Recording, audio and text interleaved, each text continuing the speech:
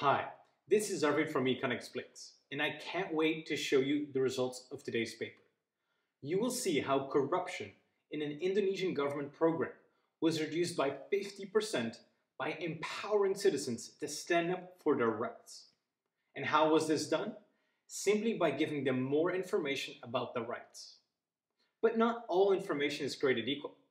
As we will see, some types of information are more effective than others.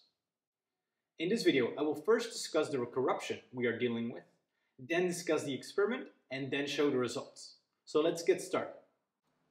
The setting of the paper is in Indonesia. There is a government program called Rastra that gives rice at one-fifth of the price to poor households. It is one of the biggest government programs in Indonesia, providing nearly 7% of the population with subsidized food. And each household that is identified as eligible has a right to 15 kilos of subsidized rice. But while the central government buys the rice, it is local officials that distribute it to villagers. But on average, households only get 5.3 kilos of the 15 kilos they are supposed to get. So they only get one third of their subsidies. So where does the rest of the rice go to? Well, the missing rice happens at the local level and can be divided into two categories. First, it can go to other households. Local officials are allowed to give part of their rice to households who should qualify for the program but who were not selected. And this type of rice accounts for about 6.7 kilos. Now, there is still a further distinction depending on whether these households are actually eligible or not. But we are not going to discuss this further as the authors cannot separate these categories. Then there's also the pure corruption. This is local officials or their appointees stealing rice for themselves or their associates. The authors estimate that about 3 kilos of the rice goes missing in this way. So to tackle corruption, the Indonesian government joined up with five economists. Banerjee, a Nobel Prize winner, Hanna, Kyle, Olken, and Sumarto. And together they set up an experiment. They sent cards with information to citizens about their subsidy rights. These cards contained information about the amount of kilos they should get and the price they are supposed to pay. It is worth saying that only 30% of targeted households actually received the cards. That seems like a very low number, and it is. But many of these households live in remote villages that are hard to reach. And so when the postal system cannot find them, the local officials are supposed to distribute the card. But as you can imagine, some local officials simply did not do this.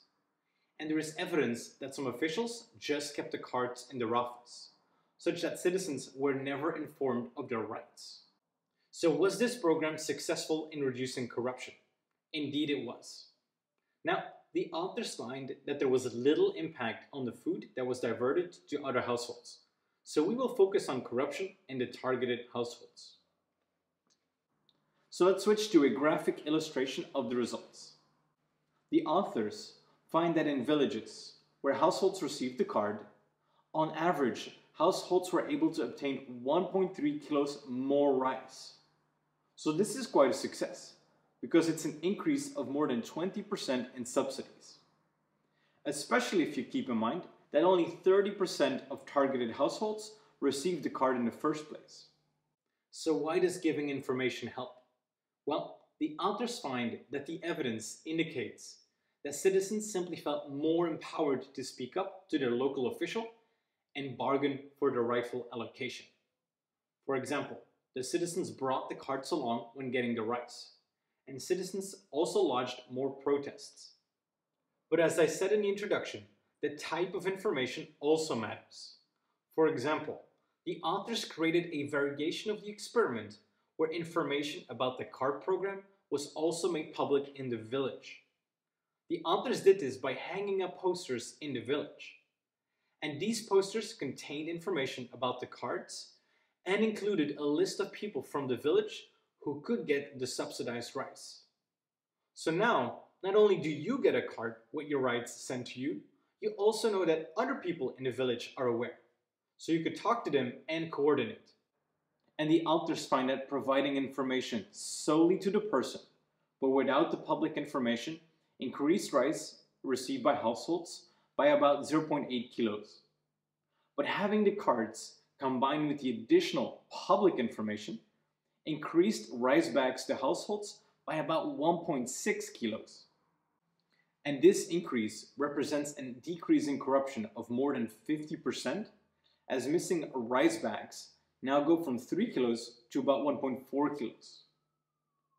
And while the authors cannot exactly pinpoint the mechanism, it seems that increasing the awareness that others know about it as well helps people to speak up for their rights. Could also make it easier to coordinate with others.